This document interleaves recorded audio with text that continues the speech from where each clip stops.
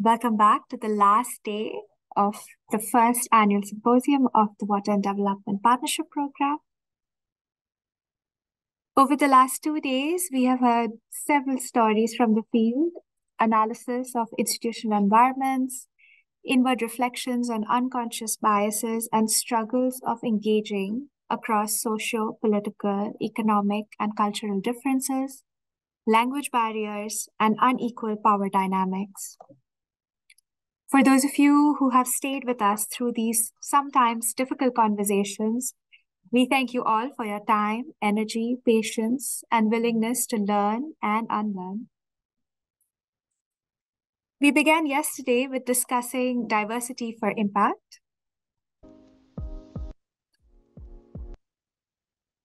We heard from three projects in different parts of the world, including India, Morocco, Algeria, Colombia, and Tanzania.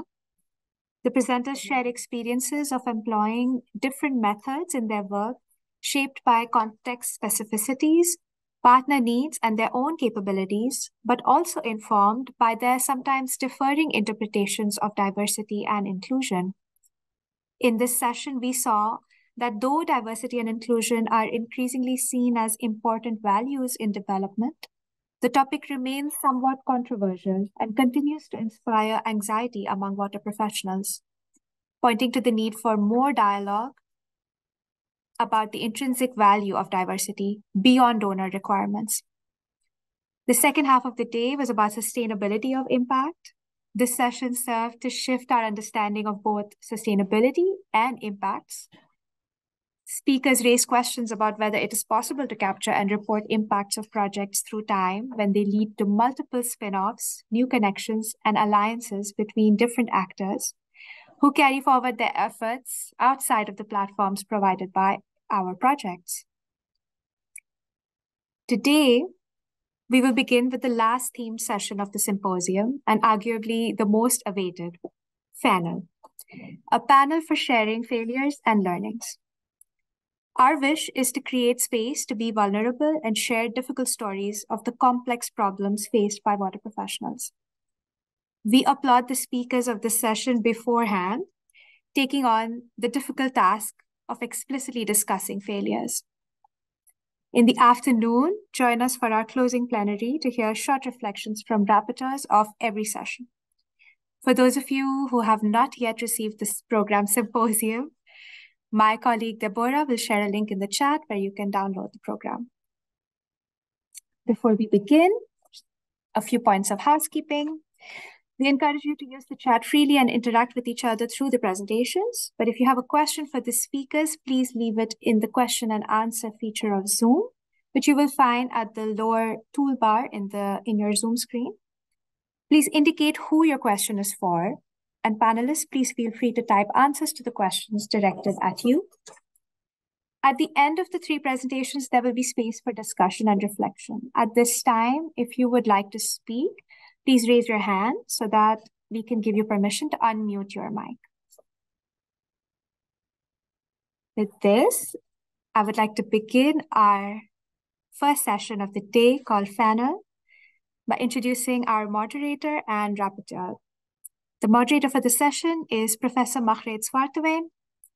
Margreet is an irrigation engineer and social scientist who joined IHE Delft in 2014 to become its professor of water governance. She studies water allocation policies and practices, focusing on questions of equity and justice. Her research centers around how institutions, technologies, and markets shape water distributions and the different ways to make sense of or legitimize, legitimize these. Using an interdisciplinary approach, she sees water allocations as the outcome of interactions between nature, technology, and society. Thanks for joining us, Margreet. I hope Margreet is here. I'm here. I thought you were also okay. going to. I thought you were yes, also going to. I will now introduce Dr. Muna. Yeah. um, Muna has uh, very graciously agreed to be rapporteur for our session.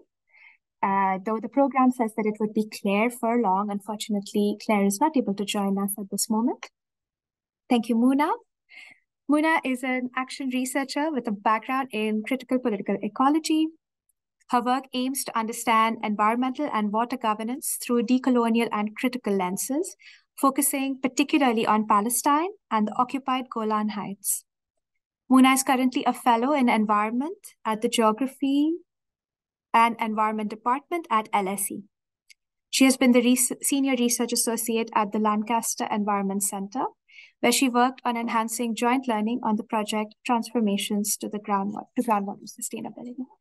Thank you, Muna, for joining us, and I will now pass the mic to Margreet. Thank you, uh, Ayn, and I'm so happy to, to be here today with all of you, and a big surprise to find myself here with uh, my respected colleague, Muna. So very happy to do, that, to do this together. I love the title of this this panel. I'd never heard the name. And immediately the title itself, uh, to me, provokes many questions. Questions about what it is, what, what it means for a project to either succeed or fail. And I think the raising of these questions, questions pro probably is precisely what this panel is about. And I think as, as one of my colleagues will explain later, if, if we look at, at projects of collaboration as, as centering around joint learning rather than uh, just about producing certain outcomes of or impacts, this joint learning, of course, if we see it and in that way, that immediately brings a reappreciation of the importance of cultivating relations and creating communities. Engaging in always situated and embodied relation making then is not just a precondition for producing measurable impact, but itself becomes an important outcome or result of projects.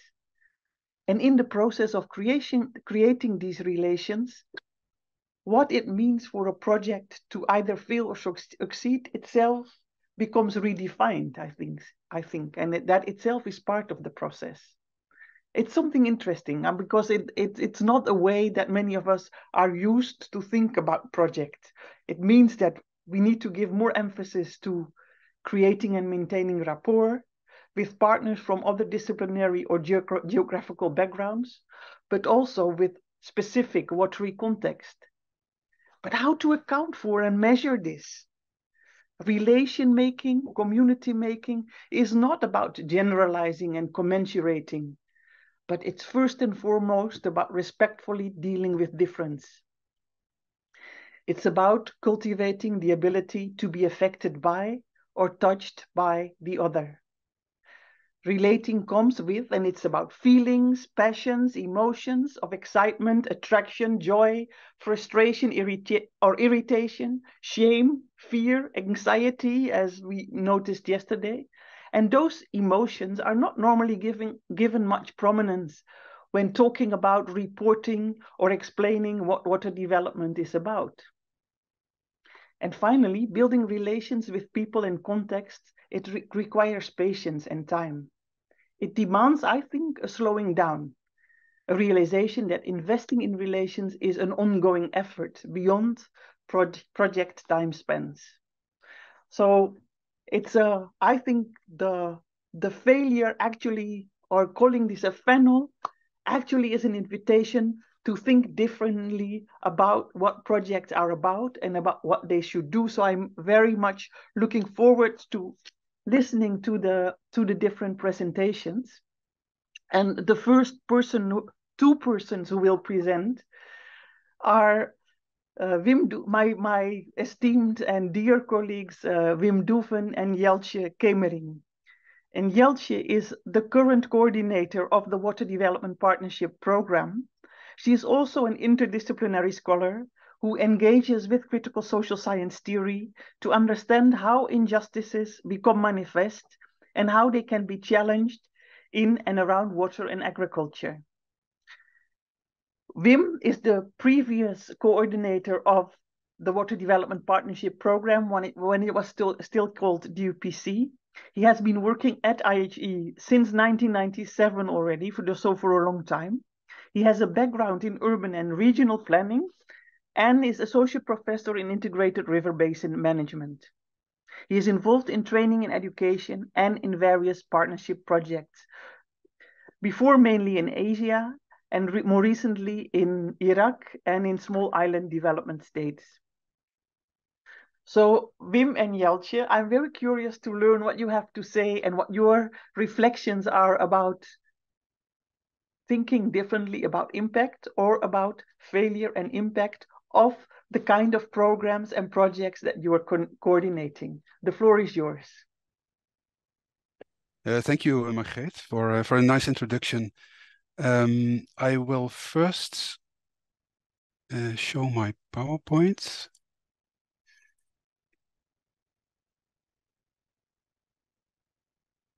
Yeah. Can you see my PowerPoint?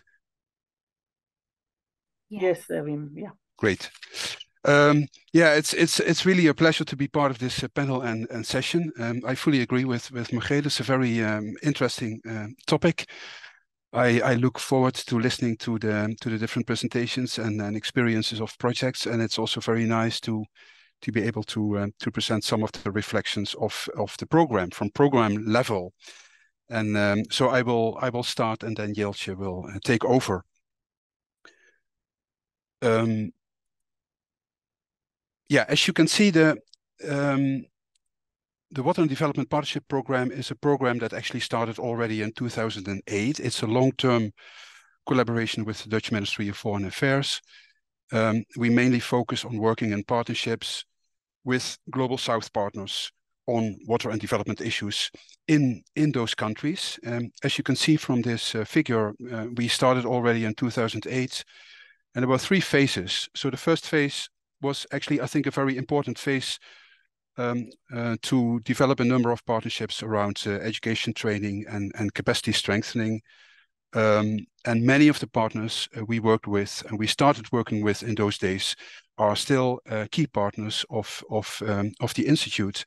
Um, then I took over phase um, two, which um, actually focused more on, on societal impact, different strategies you know, to to to help achieve societal impact uh, with a strong focus on local ownership, more user-centered, um, uh, etc. So this was also, um, I think, a, a, new kind of focus of the program, and also based on on what we learned from the first phase. Then Jeltje and her team they took over um, uh, since a few years, in the in the third phase of the program, which takes this all uh, a step further and um, actually aims to support the transformations to more inclusive and sustainable water practices. Now, I will, we, we talk, Jeltje and myself, we will talk about two topics we thought are interesting. One is about changing uh, partnerships, and the other topic where I will talk about uh, also a bit from a DUPC, from a phase two perspective, and then Jeltje will talk about um, uh, joint learning. Um, so changing partnerships. If you look at uh, at uh, at the development of the water development partnership since 2008, in the beginning we focused mainly on more fixed formal partnerships with a selected group of long-term partners. Then um, since phase two, actually we thought it's it's good to also open up this and to have more try to have more diverse partnerships um, and also more initiatives from the global south. And we did this through open calls for proposals. So the figures show some of the of the results. On the left-hand side, you see the origin of the project leaders in the in the phase two projects, and there you see that about 23 out of the 111 projects are led by um, by partners um, from the global south. Um, and in the in the third phase of the program, this is already uh, 50%. Um, in the middle, we also encouraged uh, more prominent roles for, for uh, female researchers. So as you can see here, actually about half of the projects are led by um, female uh, researchers. Um, and I think it's quite the same in, in, in, in the third phase.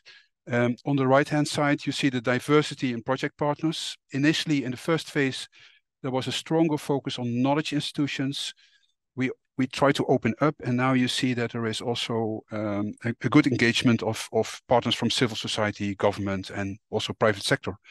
Um, and in the third phase, there is also a strong fo focus on engaging uh, more with social scientists as well eh, as part of these knowledge institutions. Well, then I come to um, the phase two failures to learn from.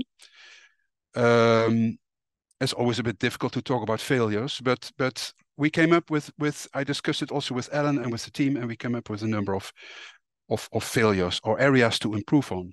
One is more at the project level level identification and implementation of projects.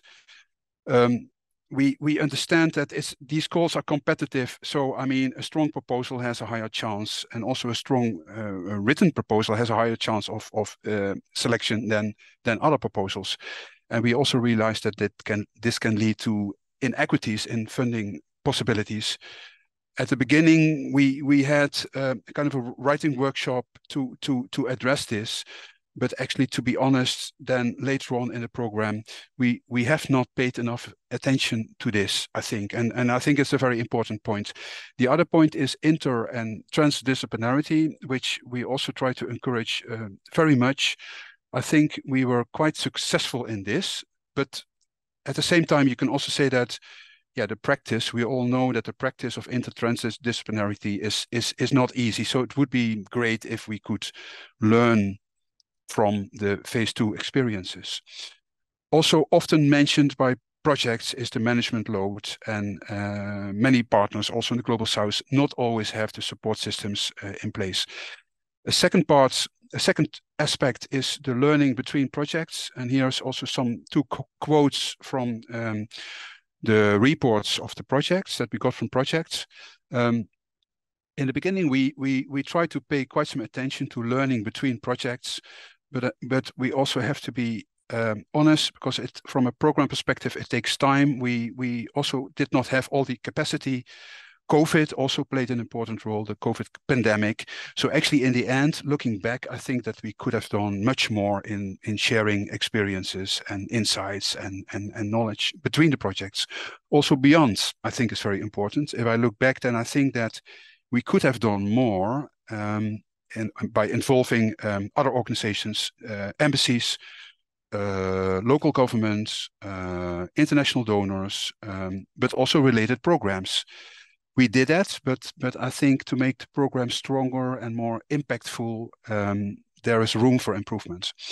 The third point is the involvement um, in the future of the projects. That's something that comes back once in a while, also in the reports of the projects. It's an important point, I think, um, it also relates to the fact that we are more project-based now through these calls. Um, question is also a bit, is the responsibility of the program, is the responsibility of the projects? I think it's a joint responsibility.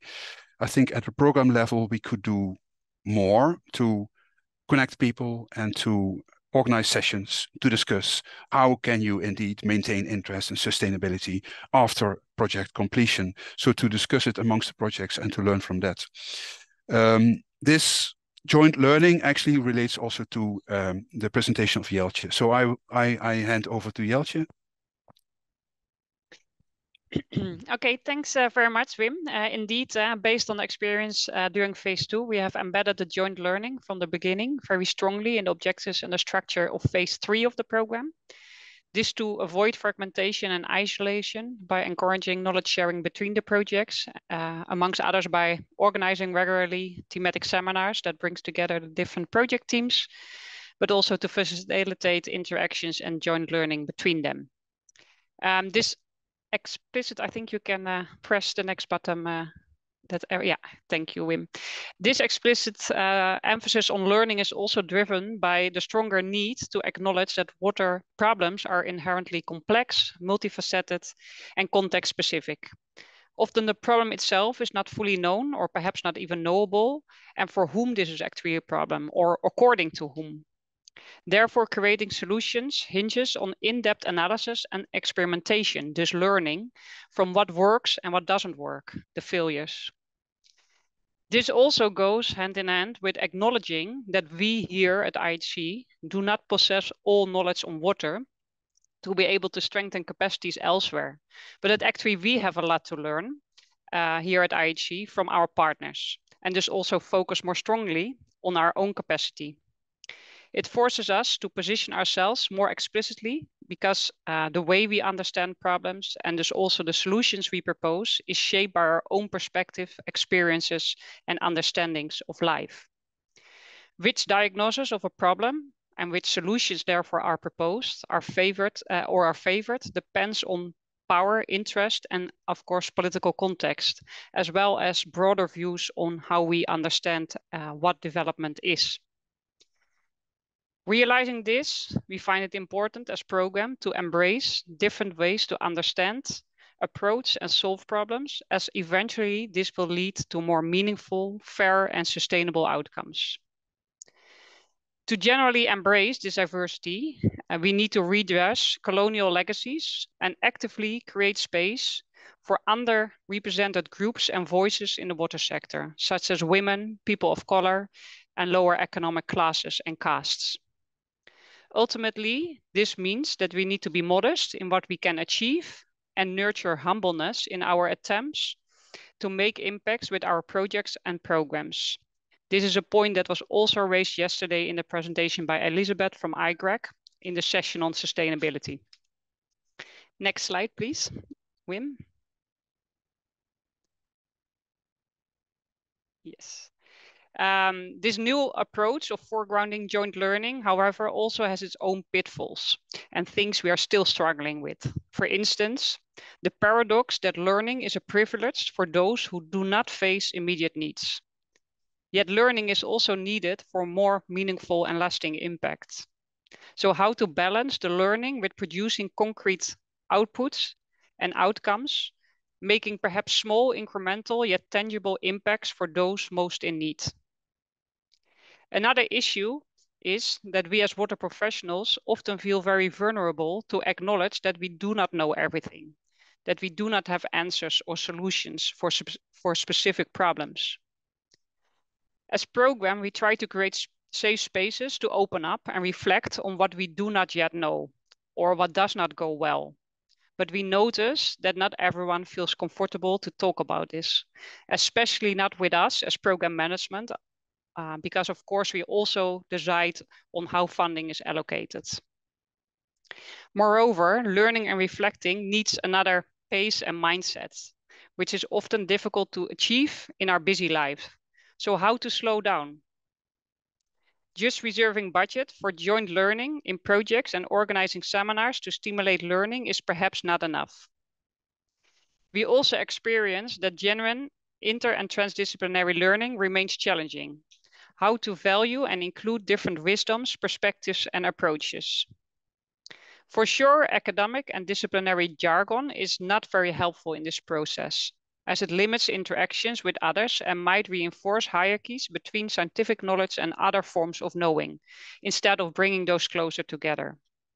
So how to develop the common language in which all team members can, team members can share their insight and contribute to the conversations equally. Also, as program management, we struggle with this and academic jargon regularly slips into our communication. I hear my time is finished, but I, uh, I'm going to uh, ask for a little bit more time to end um, because I have two more um, issues that we're also struggling with. So another important issue um, as a program is how to deal with the persistent discriminative hierarchies in society in relation to gender, race, and other forms of social differentiation we managed to have very talented people of color and women in lead positions of our projects um, by, amongst others, setting very strict budget criteria.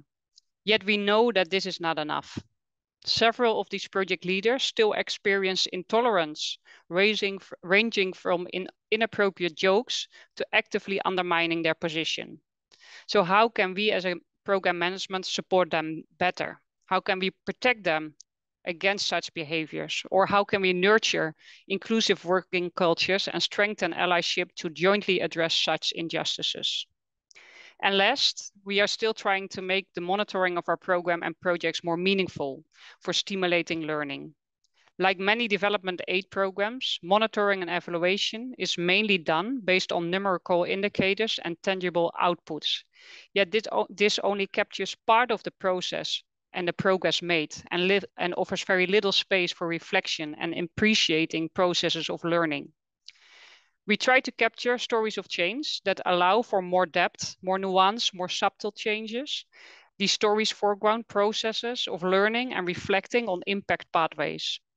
Yet identifying these stories and documenting them is not an easy, straightforward task. And in our rush to meet our own reporting deadlines, we tend to fall back on those numerical indicators and outputs set for the program. So even though we feel we are moving in the right di direction, it does not go without constant adjustment, without constant reflection and learning on our side, especially from what did not work out as we had hoped. So some of the issues that uh, Wim and I uh, mentioned uh, have already been mentioned in the previous sessions of this symposium, uh, and we continue to uh, this, look forward to continue to discuss this with you in this session, but also, of course, beyond. Thank you very much. Back to Margreet. Thank you, uh, and Wim. It's uh, it's fascinating to get an insight glimpse into the two phases of the Water Development Partnership Program. I'm I'm also curious to to know a bit more how the two of you look at each other. Uh, so Jeltje, did the improvements or the changes that you, you made to the pro to have when taking over from Wim, was that in re in response to some of the failures that Wim identified?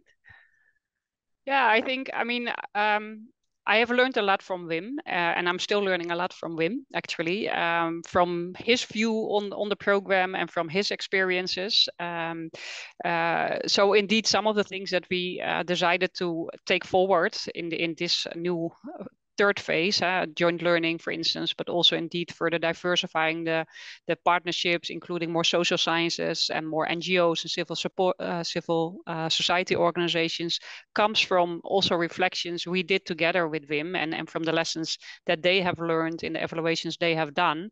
And I think Wim and I look quite differently at the program, but therefore I think it's also very nice that we have the, the phases run in parallel because we I think uh, on both sides there are things to improve and things to learn from. So I think it's actually a very nice collaboration and and a very nice to, yeah, to jointly do this. So I also feel it's our joint program, and I don't think so much in phases, but more like how we together try to move forward. So the joining is not the learning is not just joint, but it's also how can I say this? It's it also it's also incremental. It happens through time. Yeah. So Wim, anything you would like to uh, add to that? No, I, I, I agree. I think it's um, we we have regular sessions and we discuss things and we have our uh, own focus indeed and on on on on the program. But I think the the eighty percent, you know, is is is similar. So the the basic idea of working in partnership and in global south and with partners and looking at at at at local demand user centered activities trying to to to to to facilitate impact and and and and also adjusting the program to address the needs which is sometimes indeed very challenging. Those are things that that we have been discussing indeed and I remember at the beginning, the start of the writing of phase three proposal, you know, we had a nice session, session together also with the team members to to indeed look at, you know, what were the what were the successes, but also the the, the failures, you know, or, or things for improvement. So so I think indeed that's a very nice collaboration. Yeah, yeah, thanks. There's I see in the I've I've read the all the questions in the Q and A. Uh, most of them are questions I think we will get back to after all the presentations, but I can already see that they will revolve around two themes. One is how to how to best monitor joint learning or whether joint learning is happening or not and how to report on this, the question that uh, Jeltje also raised. And the other question that I see emerging from the Q&A the Q&A is the question around how to navigate the intrinsic structural inequalities that continue to, to be there and that are, that are also intrinsic to the very water development and partnership program with the funding coming from uh, a particular Dutch place.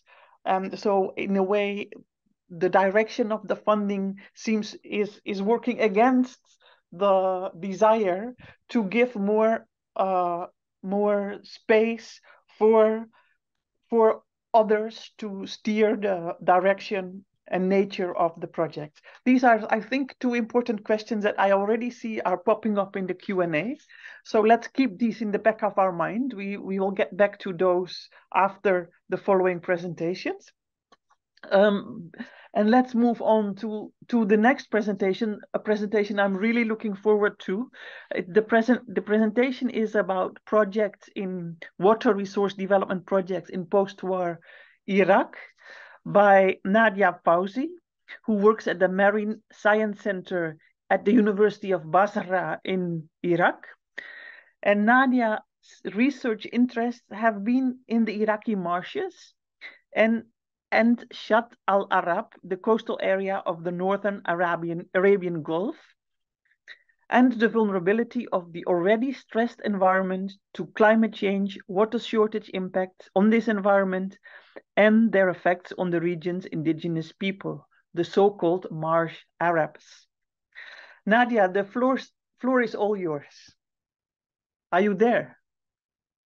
I don't see Nadia. Ah, yeah, there you are. Yes. Hi. Hello. Hi, everyone. Thank you very much for the invitation and for the interesting sessions. Um, talking about failure is really challenging. And uh, once I talked to Yeltsin and said, everyone is afraid of saying that we failed uh, a project. Uh, but I think we need actually very important. I feel that we need to discuss it. Um, I will tell you my story and why, coming from a personal experience. As you said, I work in Iraq and I worked uh, pre and post war situations in Iraq. And I saw this happening. And I always tried to emphasize how to move the project forward and leave a legacy, a positive legacy. This is most of the time, I'm sorry to say that is not happening. So let's start with, with my story. So, um, yeah. I don't know why. Okay. So as you said, I am from Iraq and I'm focusing my work on this area of the marshes of southern Iraq. Uh, you may know or may not, many of you might not know that Iraq depends on two rivers that are mainly coming from outside Iraq, mostly from Turkey and some from Iran. And those rivers uh, flow through Iraq from north to south for millennia.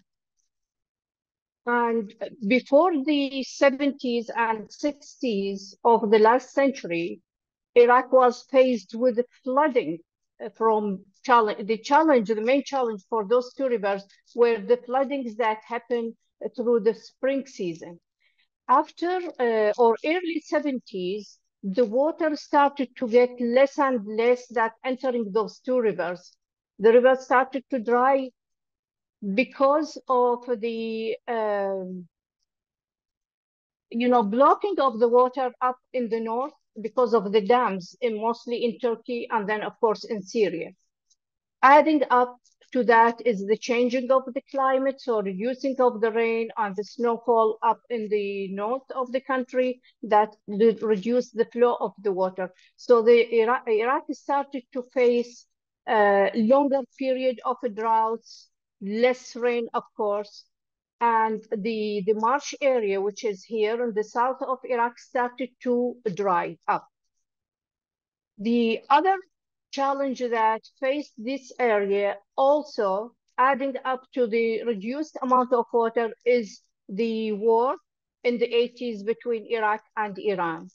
That is impacted the, the marsh, the whole marsh area because the government started to dry this land as you see, it's on the border of Iran here. So they dry this land to have access, you know, to ease up the uh, war situation.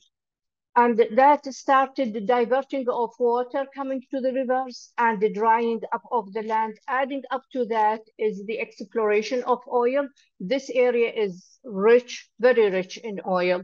And the drying is happening also. So every thing work against this environment, the climate change, the war, the drying of uh, the this area.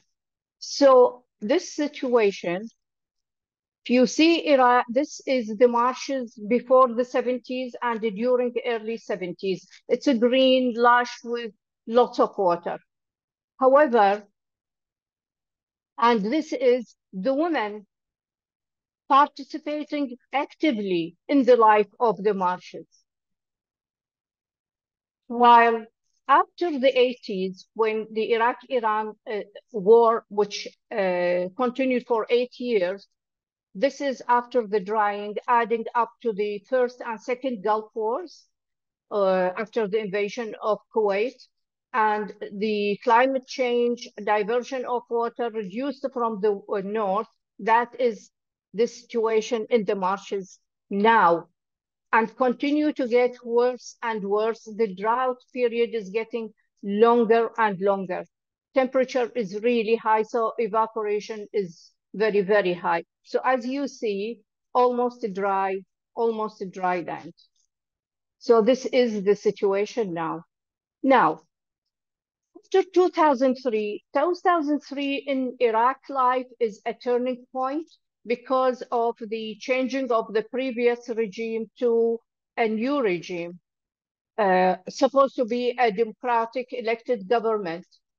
And the international community started to heavily uh, participate in the development because for more than 30 years, Iraq was cut off the world, no development, completely embargoed, and the infrastructure is completely destroyed because of the first and second Gulf Wars.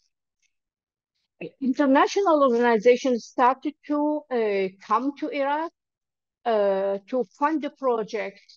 And specifically, I'm going to talk about my experience working on a project uh, to revive the marshes, as well as providing water for the people who try to come back to this dry land. So to encourage them to come back, the, the government and the international organizations and the funders, different countries, um, most millions were put into projects uh, through UN and through US, uh, European, uh, Japan, you know, most of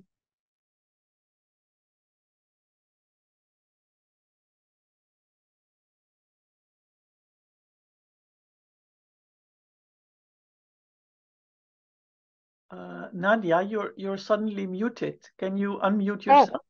Yes, now yeah. it's okay. Yeah. So most of these projects Nadia, came. Nadia, yeah. Can you reshare your presentation? We lost your presentation. Oh, I think you no. you disconnected for a few minutes for a few seconds. Okay, I'll try to do that again. Sorry about that.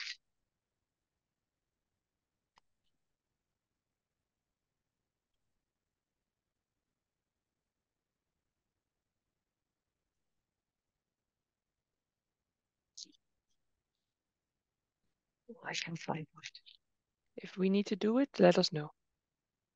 Okay, I'm trying to share again. Do you see it now? No, not yet. Okay. Uh, can you please uh, do, because it seems that I can't do it Yeah. from here. I don't I know. will. I think it's the net, internet is very I will ask my uh, colleague Ain to share your I, I'm really sorry about that. Yeah. Yeah. No problem. This happens. So have a little patience uh, with us to all. So Nadia, your presentation is coming up. Uh, Ain is uh, searching for it now and uh, ready to share her screen. There it goes. Okay. Oh, So you have okay. you can uh, Okay. More. Next slide. Next, please. And next. Okay. So, yeah. So please, uh, no, no. Go back one slide. Okay. So, uh, I will leave all the project and focus on one example that bringing technology to, to this area, suddenly introducing it without uh, prior knowledge, without support, and spending all this fund on a project, uh, it seems really disappointing and disappointing to the people specifically. So as you see here, we see the, uh, you know, trying to uh, extract water from a, a, river, very small riverine, close to this uh, solar system and clean it and then distribute it to the neighbor area, all right? And uh, this kind of solar system distributed in different places around a you know relatively small area, not the whole uh, area, but relatively small area. And people were very, you know, uh, excited about seeing this something new to them. And they received, they started to receive water from that. Can we go to the second slide, please?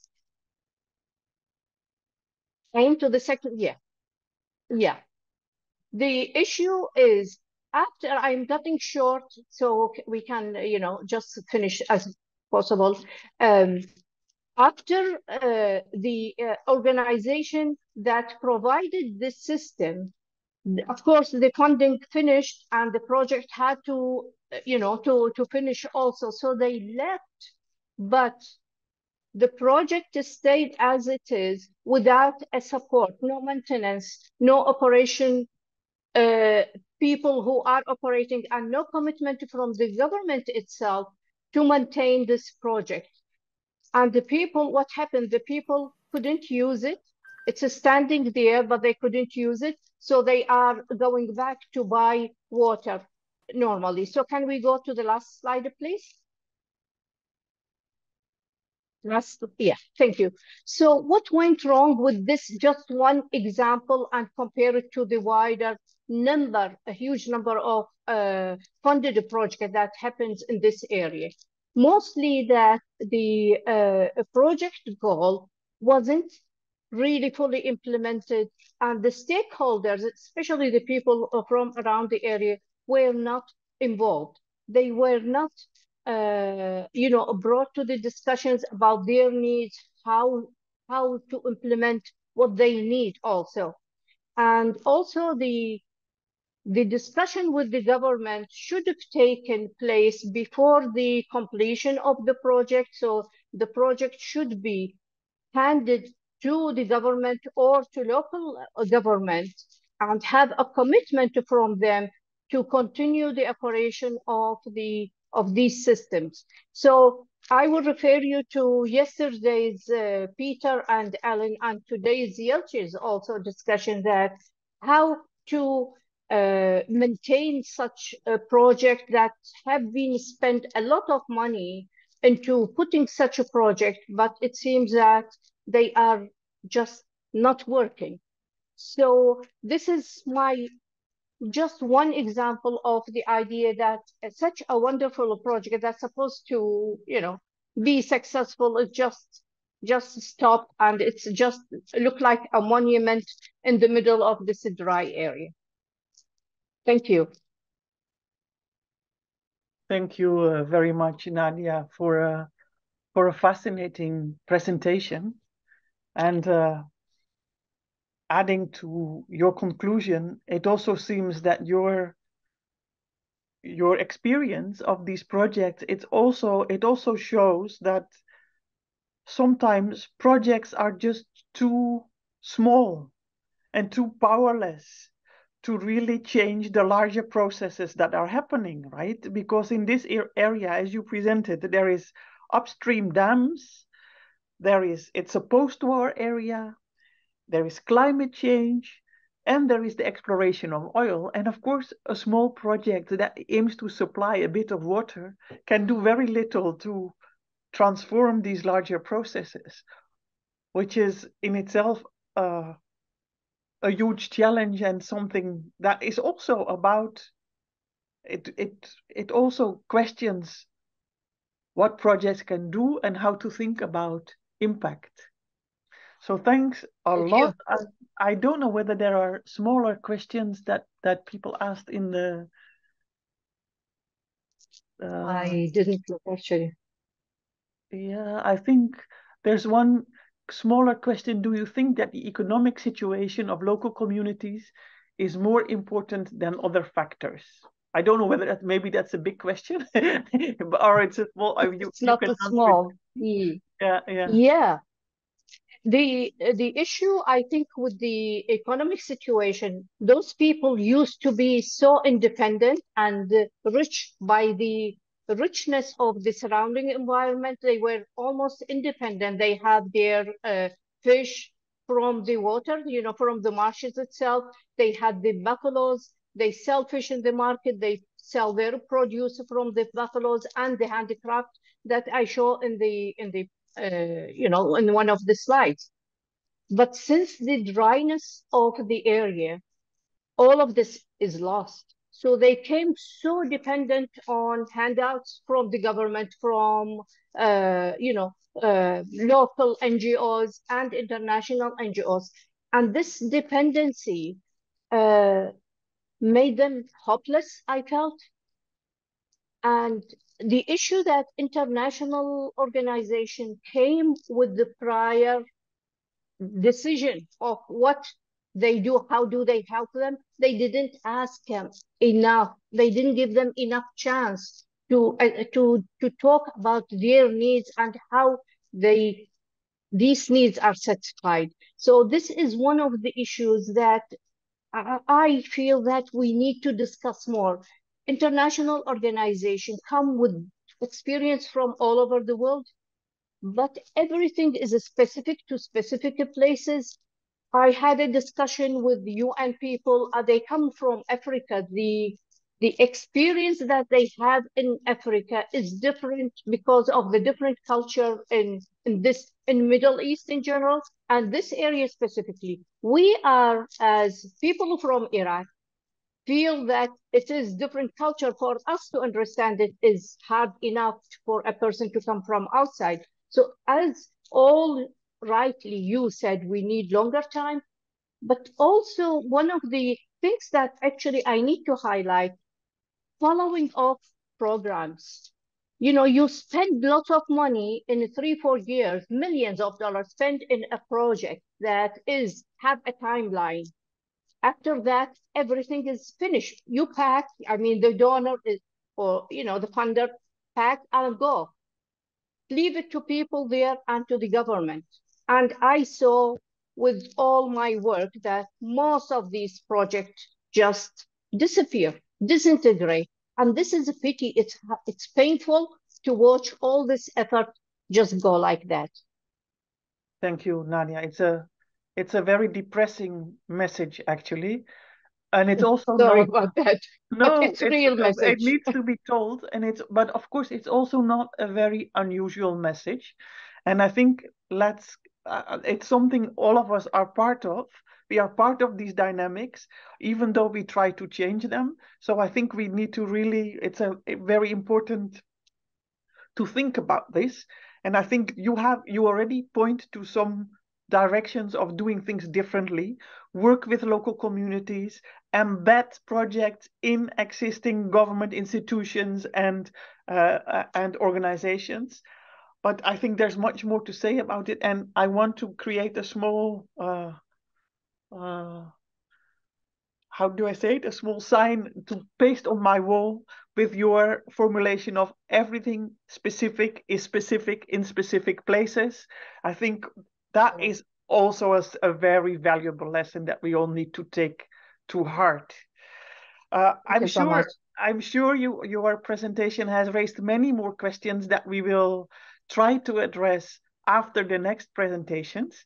So thanks a lot, uh, Nadia. A virtual applause for you. It was uh, it was very uh, interesting and uh, instructive to listen to you. Thank you. Our next presentation is by Adel Yassin from the Palestinian Water Authority um, Adel is the director of wastewater planning at the Department of the Palestinian Water Authority and the project lead of Master Plan Wadi Zomer. Adel, uh, first of all, uh, I cannot introduce you without saying something about how all of us feel deeply and are deeply concerned about what is happening in Palestine. And I'm I have I have a lot of respect for for you being here and in spite of everything that's going on, having agreed to give this presentation, I'm sure we will listen with extra attentiveness because of it. The floor is all yours. Thank you, Margreet. Again, uh, thank you for inviting me to present uh, uh, our project that is funded uh, through DUPC 3. It is a joint project that between uh, some local partners and the IHE from the Netherlands. So I will start uh, sharing my screen. In case the internet is disconnected or something happened, Peter Van Steen is with you. He can also back up me so that no risk that my presentation will be like uh, not uh, completed. So I will start uh, showing my uh, my uh, screen. Yeah, uh, our project is mainly tackling industrial wastewater in a stream that is transboundary between the Palestine and Israeli.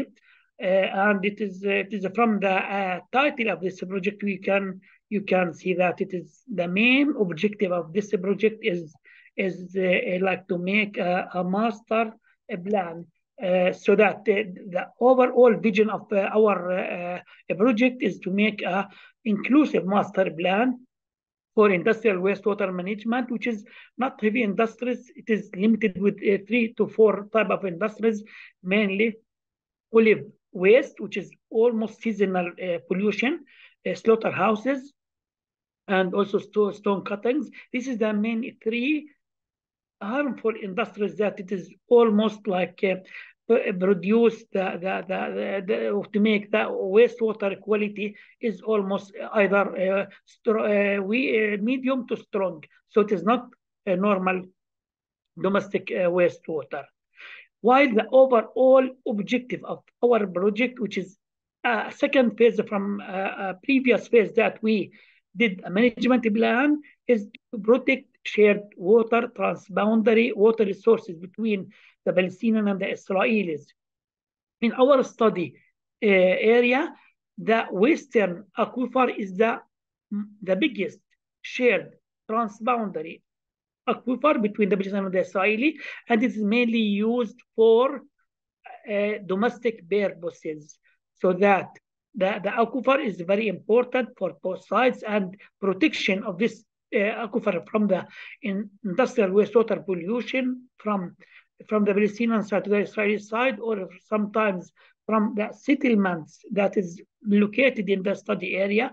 So this is very important uh, to do that. And also building the trust. And as uh, Margreet said, now we are now living in a war between the Israeli and the Palestinian. It is mainly now in Gaza, but there is effect on, on, on, the, on the remaining Palestinian authorities, either in, in Jerusalem or in West Bank, so that all the Palestinian now is fear as are now under effect of the war that started uh, on uh, October 7 until now is, is continuous. We hope this war should stop soon because it is now 40 days from starting and we hope this will be end and we keep again the negotiation for the two-state solutions that always we hope that at the end we got our uh, like our uh, state independent and according, according to the uh, UN resolutions uh, 242 and 33.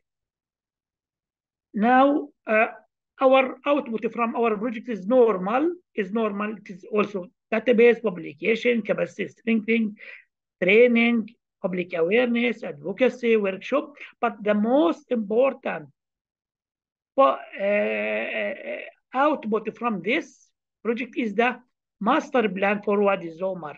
And why this is very important, in addition to the objective, as I mentioned, that that we need, we need to involve all the various stakeholders either governmental or non-government in the in the in the decision making, in in in in in contribute to the vision that we started from November 2021, and we did a big workshop in March 2022.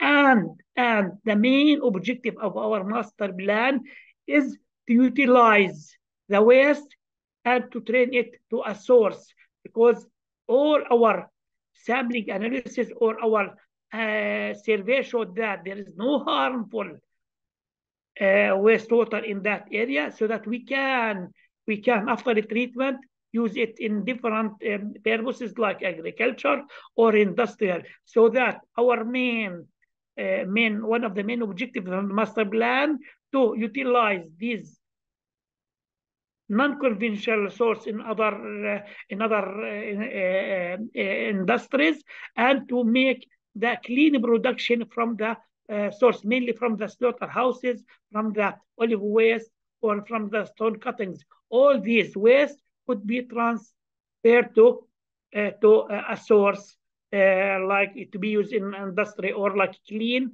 production. This is very important.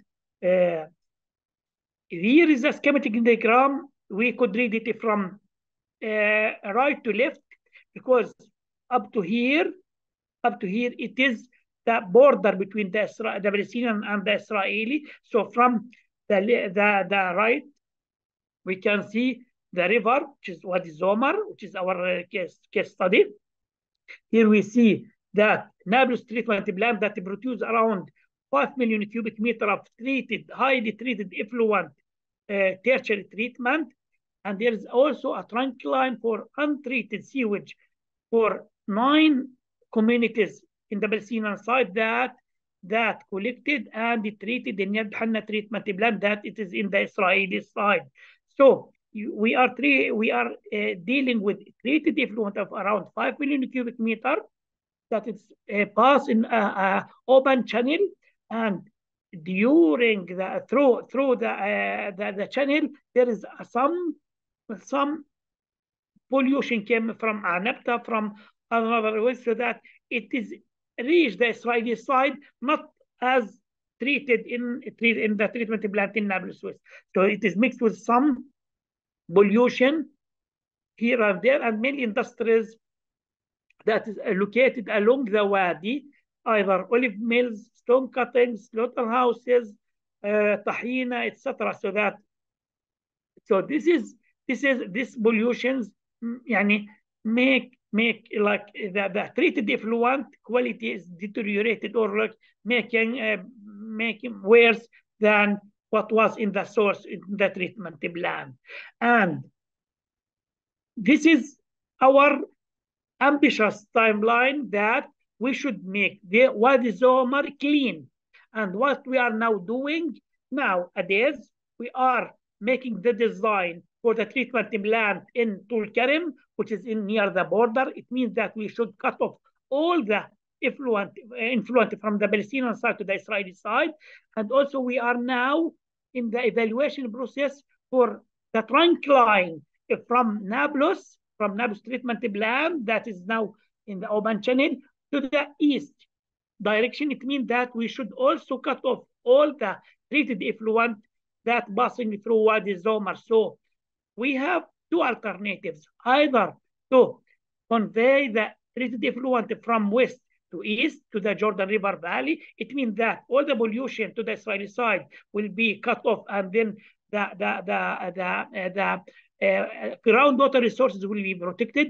Or also we have another uh, alternative that to make a convey a, a, a, pipeline from Nablus West to the Israeli border that will collect all the treated effluent and will be protected from here or there uh, pollution that come from uh, scattered industries or uh, raw sewage came from tankers or from other uh, pollution sources. All these were studied in the in the first phase that we published a report about what is the source of pollution, what is the a possible intervention that we could do to protect the groundwater resources and to keep a trust between the both uh, sides. Here is, is, is just an example about what we are doing in the, in the sampling in the Palestinian side. Uh, we have four locations, and then also in the Israeli side, there is also a, a, a, sampling carried out by the Ministry of Environment and the Natural Resources that we always we use like to share these data uh, at the first phase, and we try like to make like uh, to, to to see what is the joint intervention that we can do to protect the groundwater resources along Wadi Zomar and to keep it by natural storm water and runoff of, of rainfall rather than to keep it uh, with the raw sewage, uh, raw sewage either in the open channel in Wadi Zomar or in the in the trunk line. Here is just a schematic diagram or outline about what we are doing in our project about how like we can يعني, achieve our objectives. And here you see the sets of indicators and monitoring that we are doing. We we we in at the beginning we identified similar indicators that we should by end of our project to achieve and to يعني, our ambitious goal to make Wadi Zomar clean from the raw sewage or even to protect the treated effluent from being polluted again by by scattered industries or or uh, raw sewage septic from tankers. Adel, is, Adel, yes, uh, uh, you're reaching almost the the end of the time for your presentation. I don't know. Only one slide. One oh, slide. Okay, okay, good, good. Go ahead. Yeah. So this is the challenges. Now, the, we are not under risk of failure, so that we still uh, still uh, in the uh, in that track. Only what happened in October and November this year affected our plans because the most important things to make wastewater samples in October and November because of the season of, of uh, olives that make the quality of uh, wastewater almost uh, strong that because mixing the Z-bar or mixing the olive waste in the in the open channel make يعني the quality uh, bad يعني bad and almost uh, almost like uh, not normal so what, what what was the effect of the the current situation in Palestine which is uh, usually the war that we didn't consider in our uh, like in our uh, proposal we always used to have some class, clashes here or there and some like aggression here or there but we didn't like expect that the war will take for 40 days or we don't know which will, will end up. So our uh, the, the, the, um, the, what could be affected is the locations of the, our sampling is exactly on the border and now it is not accessible because it is now a military zone so that also uh, also uh, for like due to the overall situation and and the closure imposed by the Israeli army that the, the environmental inspectors and the police, everyone, they are not able to control the pollution from like industries.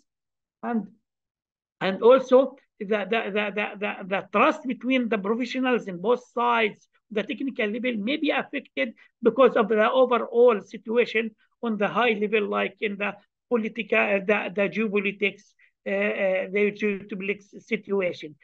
So our project is still safe our plans will be now uh, like adapted because we missed the most important uh, season, which is the olive season that is mainly in October and November.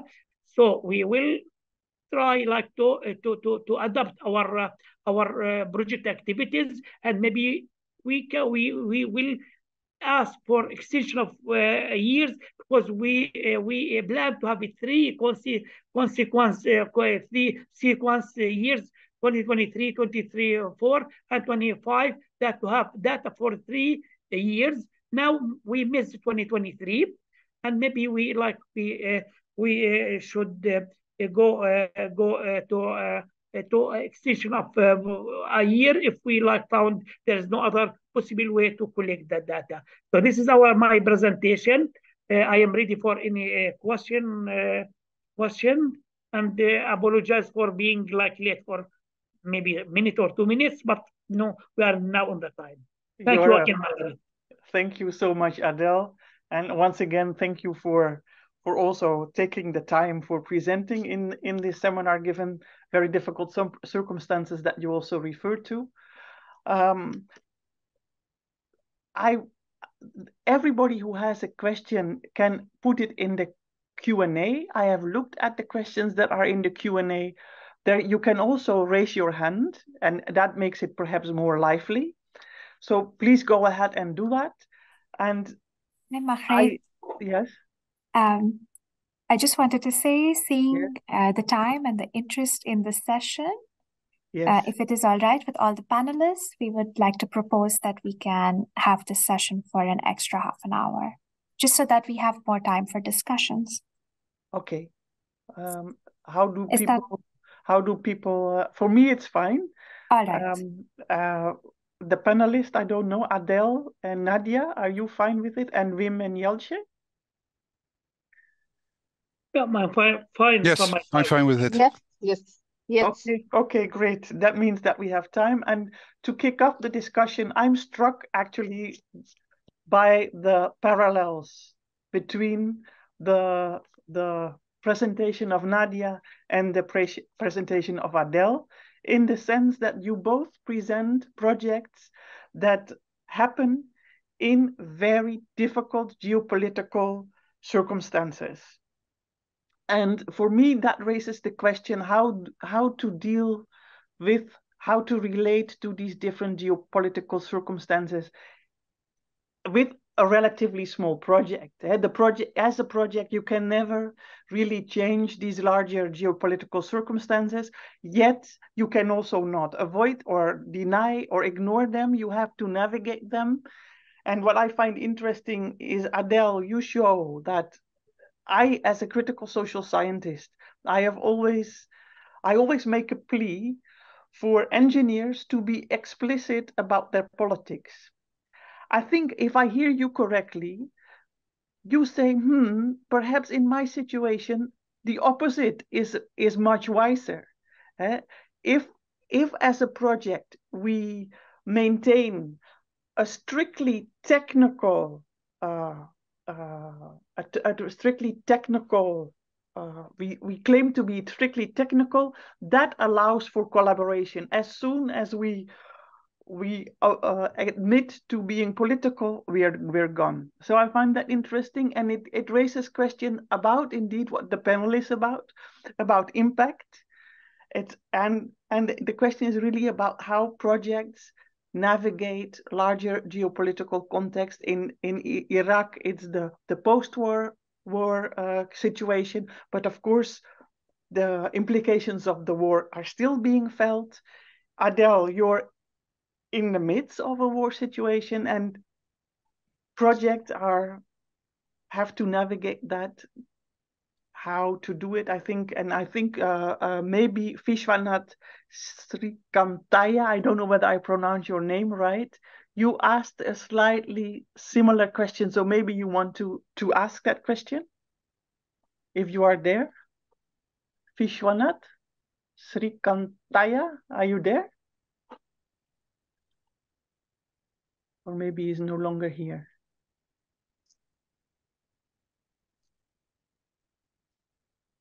Hi, uh, you can unmute yourself now.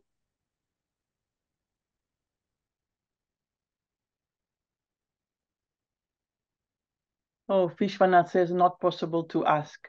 I can read his question and then you can maybe... Uh... Uh, Vishwanath, would you please raise your hand and then, yes. You can now...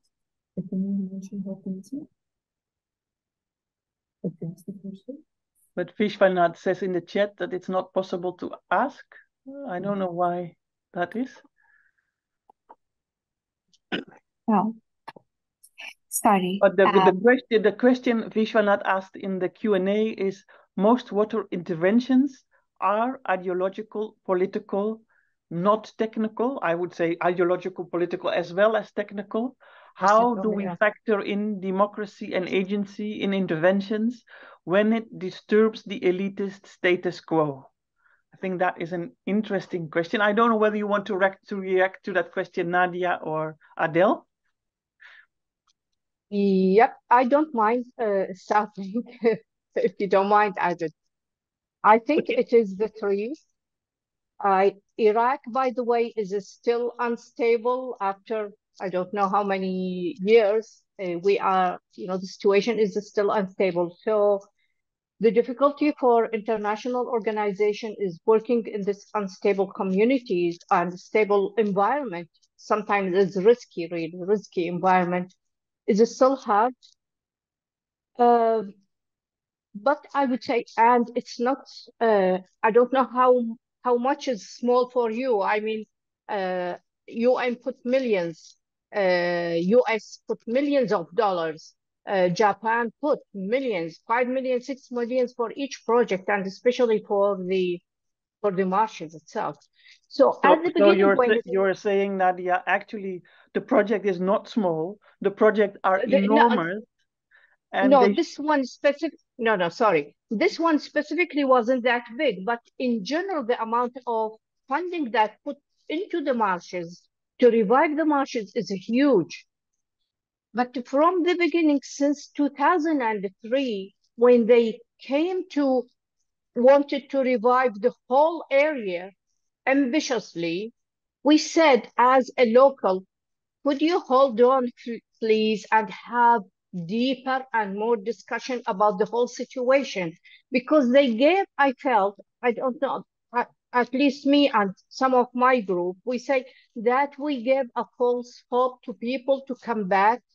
They came back and uh, with some water that we were lucky at that time that there was some water coming to the area and you know it was reflooded and seemed everything is wonderful.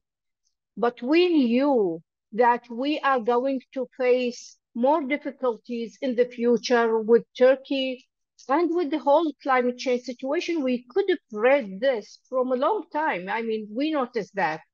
So we said we need to look at a project that focus on a specific area of the marshes rather than say we fund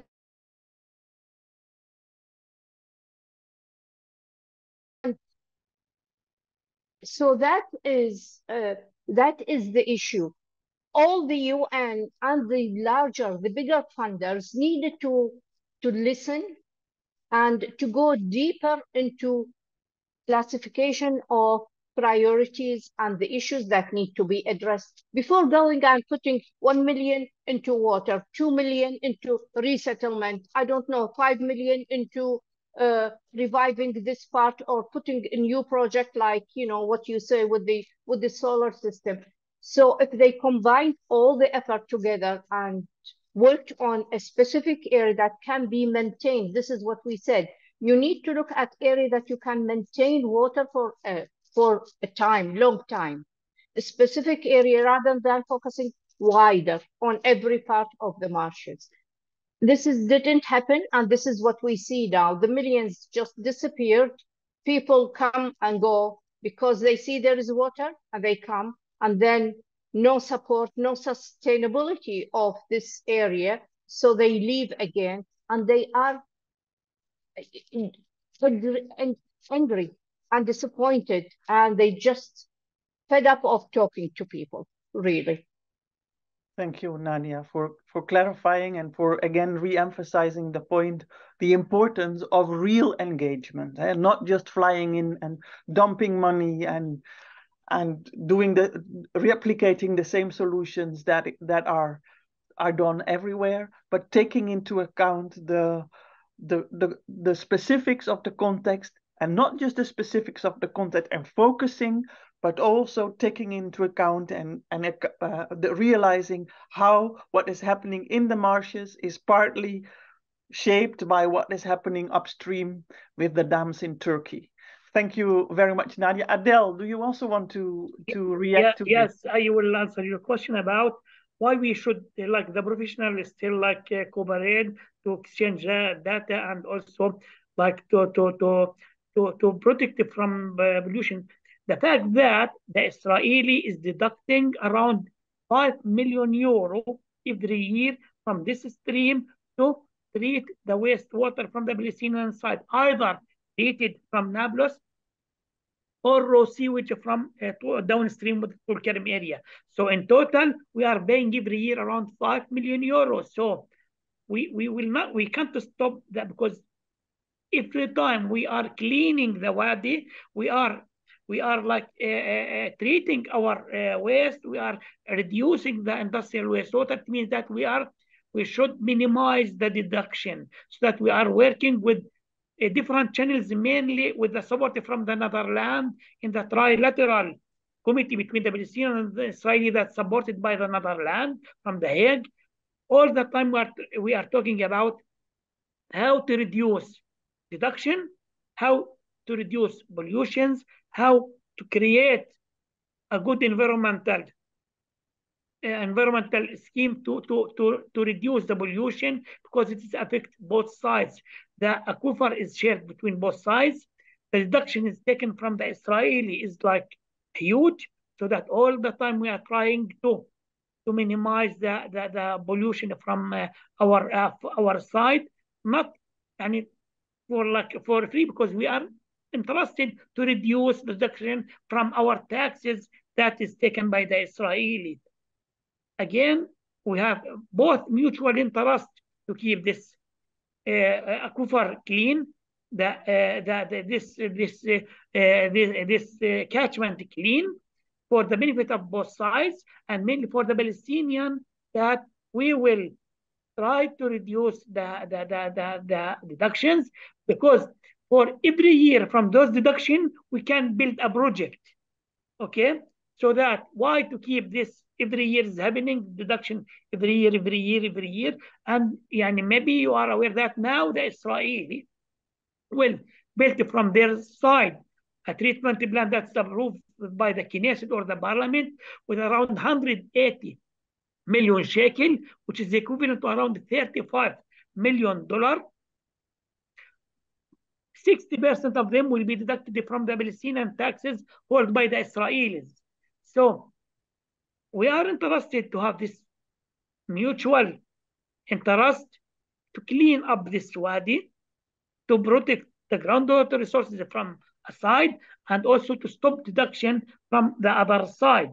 So we will keep we will keep doing all our efforts either from uh, our this our small project or because from our small project, we highlighted for the decision makers and for the government that what is the importance of to have these intervention to making a treatment or to, to improve the, the quality of the uh, wastewater from our side, because at the end, we should we should reduce the deduction that is, is very, very uh, huge compared to the quality of the water. So with with the small interventions with with like with with uh, from our project we can we can uh, we can achieve our goals which is uh, protecting the aquifer and also reducing the deduction so this is why يعني why يعني I will answer from Andrew Gomez's question that why in, I introduced a lot about our project because we should know that it is a transboundary project, there is conflict between both sides. It is not normal. And uh, riparian, Israelis, and Palestinian, we are under occupation, and we are not like any other riparian countries that there's a, a everyday cooperation or that. Because as you know that today we are in a war, all the time we are facing like um, uh, uh, problems here and there, so that politically we are in a not in, in stable area so that also the intervention is very important because we should keep our rights to stop the deduction from our money that's held by the side. So this is very important project. We are will continue that. We will try to adapt our plans at least to at the end to submit a master plan for our leaders, for our decision makers that contain what intervention on the uh, short and medium term to do at least to achieve our goals from this uh, project. Again, thank for you do, DUPC3 for, for funding this uh, project. And again, we are working now, now our team on the technical level we are working to collect data about everything. Only what we now facing is the how that we we we like we like uh, make the samples and how we can like. Make the, the meetings uh, on like uh, that planned in November. But our project is still ongoing. Thank you, uh, thank you, Adel. Okay. Thank you very much. It's very clear. On the one hand, you can you cannot do. uh, It's very clear. Everybody has an interest in key, in maintaining a clean aquifer and cleaning it up, both the Israeli and the Palestine side. It's also very clear that collaboration is needed, and it's very difficult in these in these war times. And it's and you also show or or explain that even doing the minimal technical work now is being becoming more complex because of the war.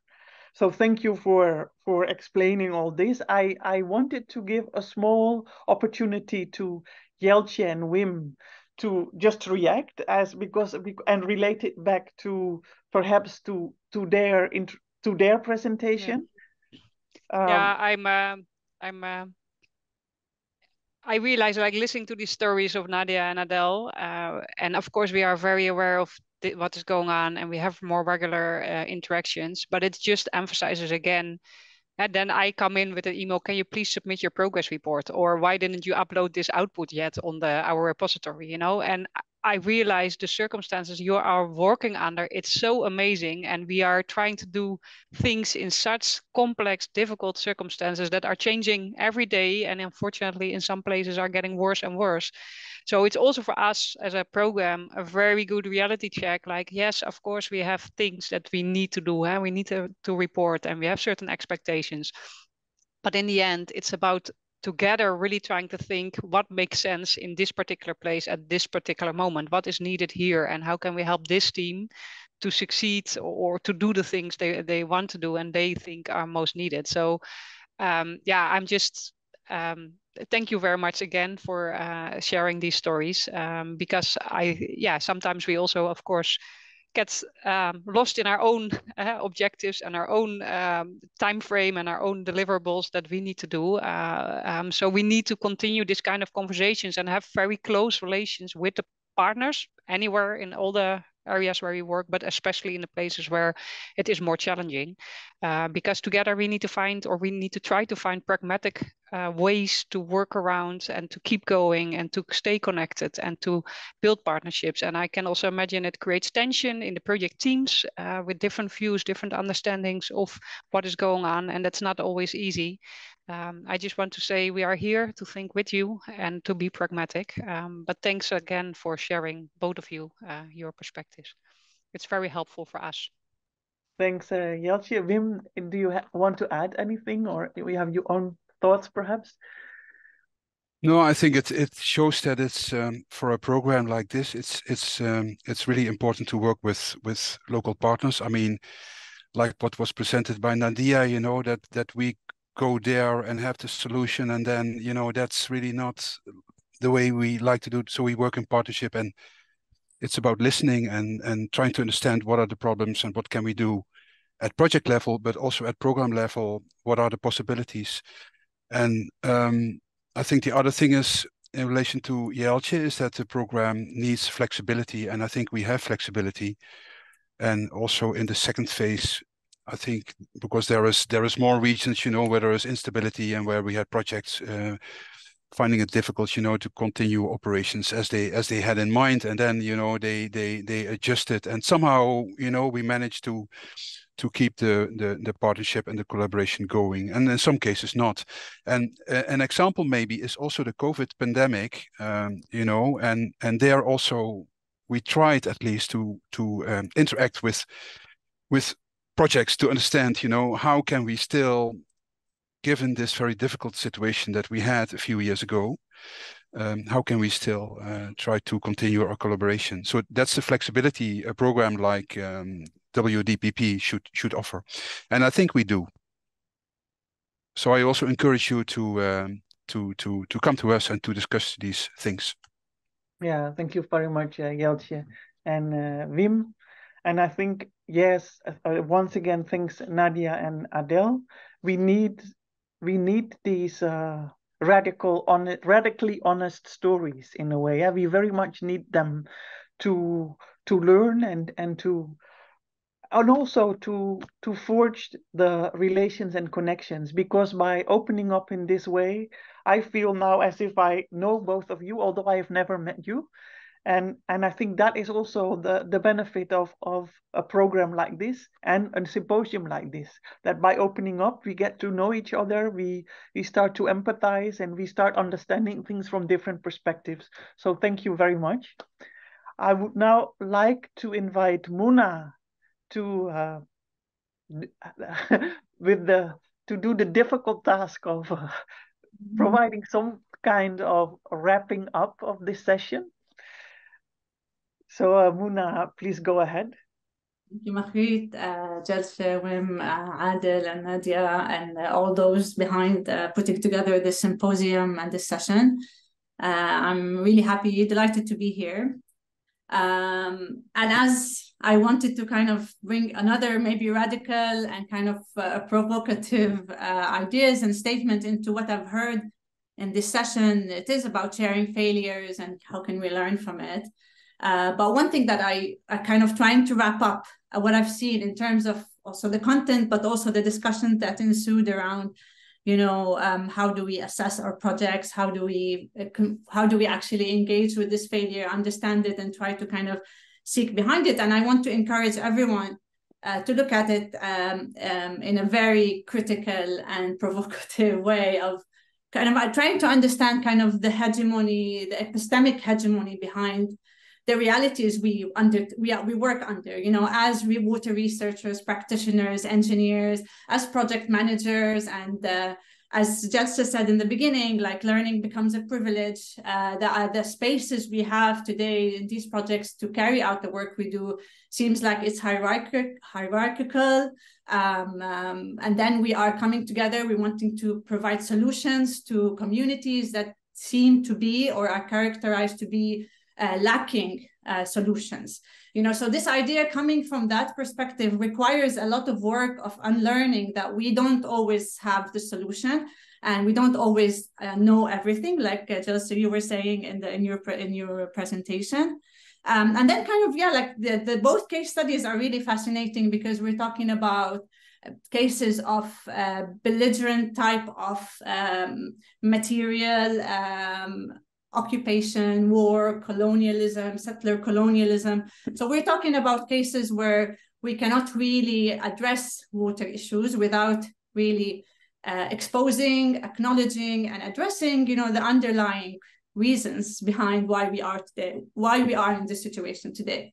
Whether in terms of the failure of such projects and infrastructure to actually launch well and to be actually beneficial to the communities themselves. So we have kind of the the physical failure of these projects to actually achieve any uh, reality. Like Nadia was mentioning about the marshes, like we have what you have shown, Nadia, this really beautiful, intrinsic, uh, and really deep uh, rooted connection of people to the marshes. There's traditional knowledge, there's there's a women-led uh, role for a lot of these activities that used to take place in those marshes.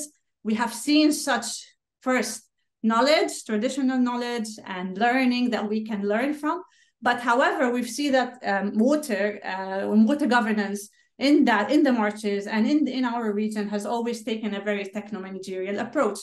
All of that wealth of knowledge, all of that you know richness has been completely ignored, sidelined, uh, and what has been proposed has been very techno-managerial approaches. Like how can we actually like make use and optimize the use of this really dying river, dying culture and heritage uh, by putting solar panels and so so the solution becomes the problem in a way.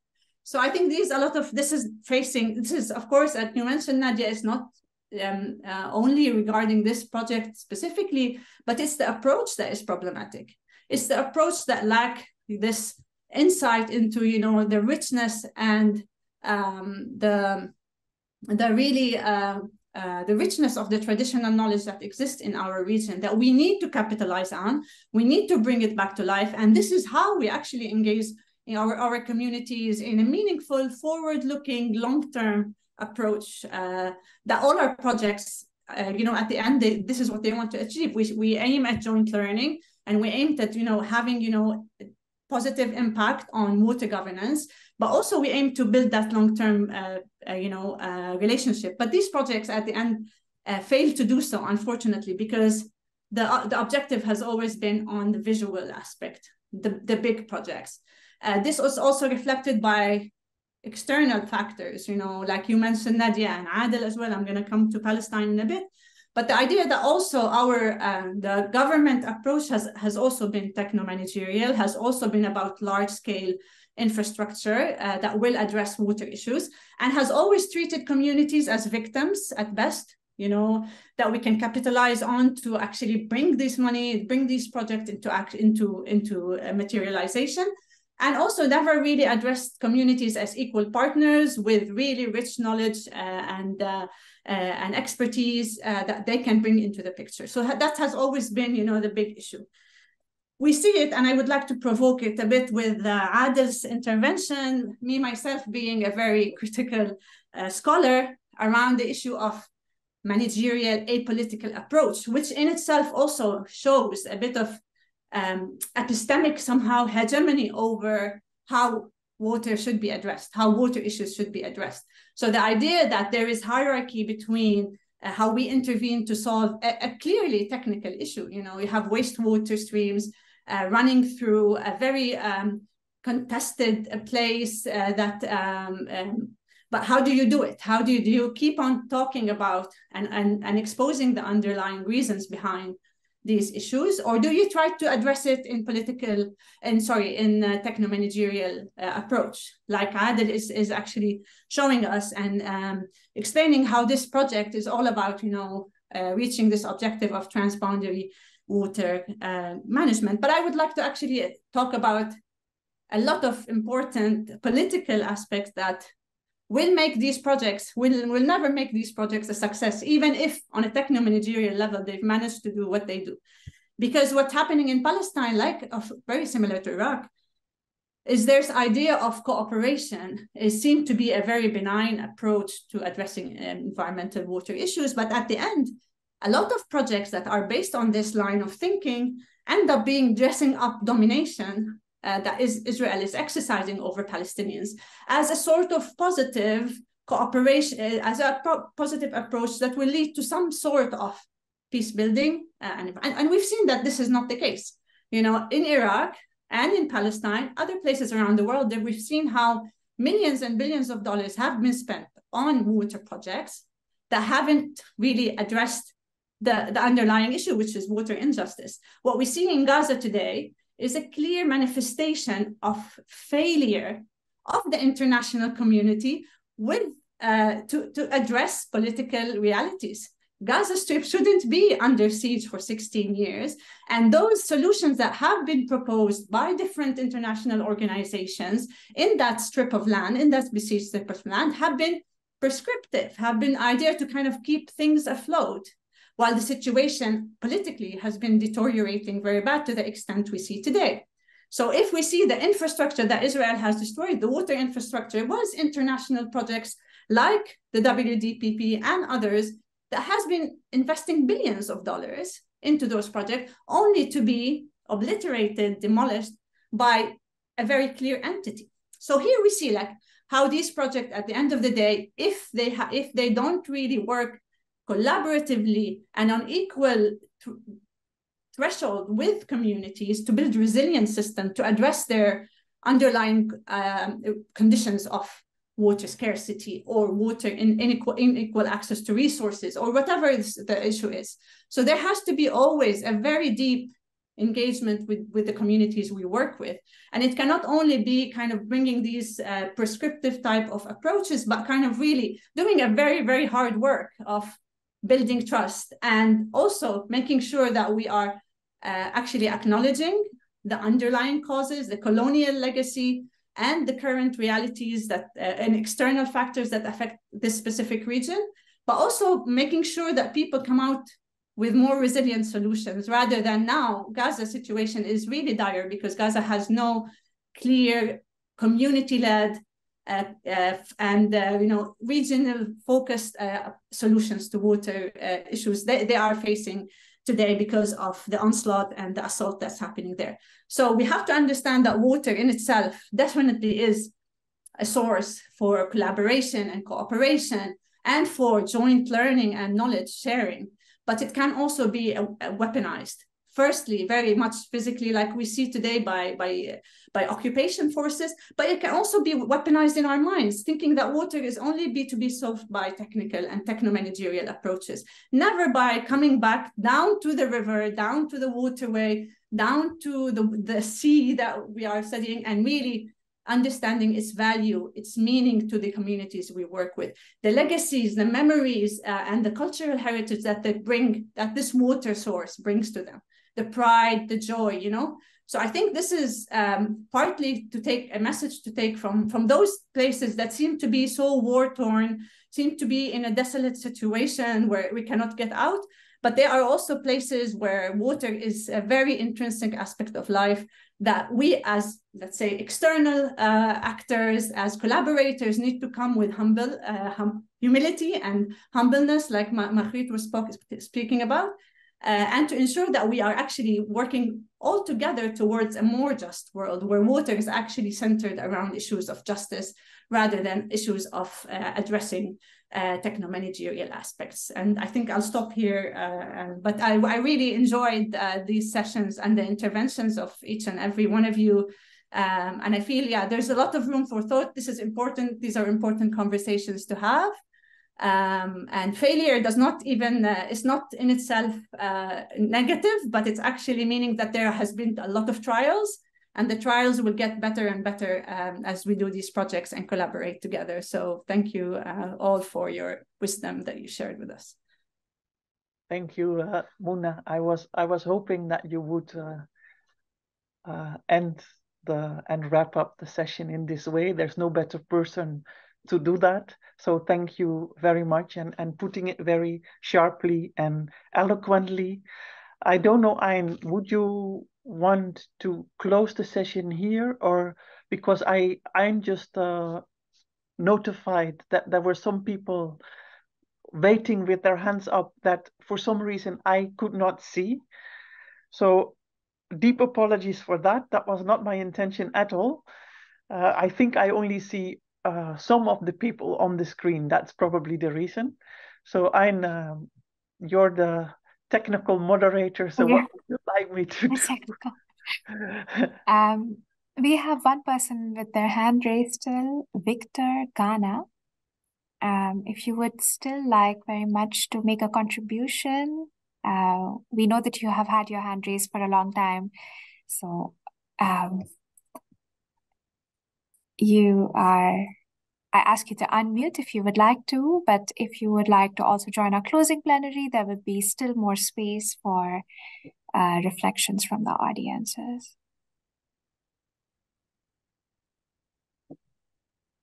Uh, I, I, now see okay. that Peter van der Steen also has his hand raised. Peter, yeah, can you, you hear can... me?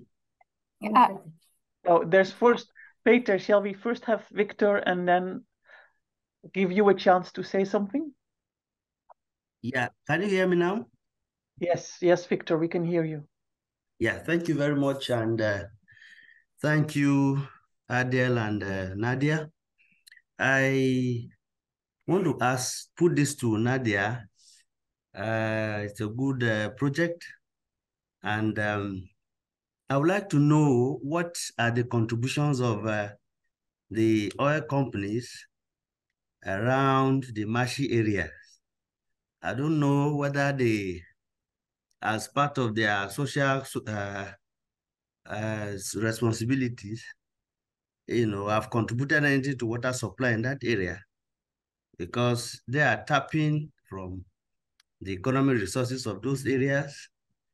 And uh, they need to also contribute to the welfare of the people not just um, by uh, getting the resources they have there, but to also give them clean water to drink.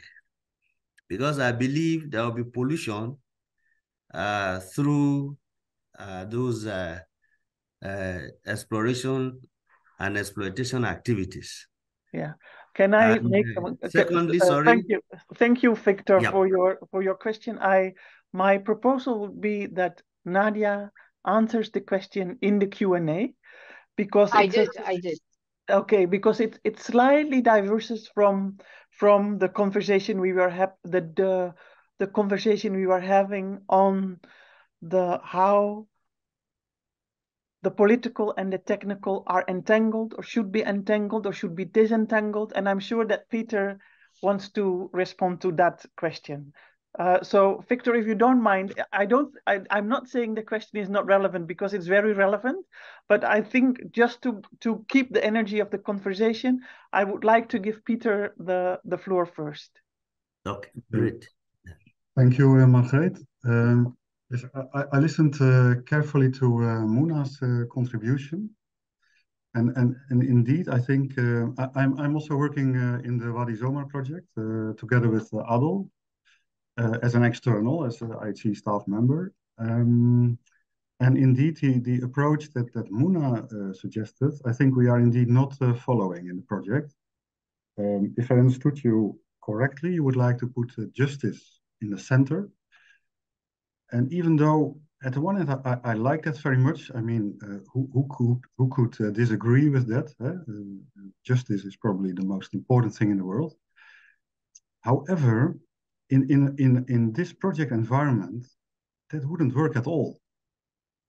Uh, in in this project where uh, I, uh, I I can I cannot speak for Adel, I only speak for myself. Uh, I, I work with both uh, Israelis and Palestinians, um, and and we are trying to step by step improve the situation. And that I think um, uh, mentioned that uh, uh, at the beginning of the session, personal relations uh, are very important there.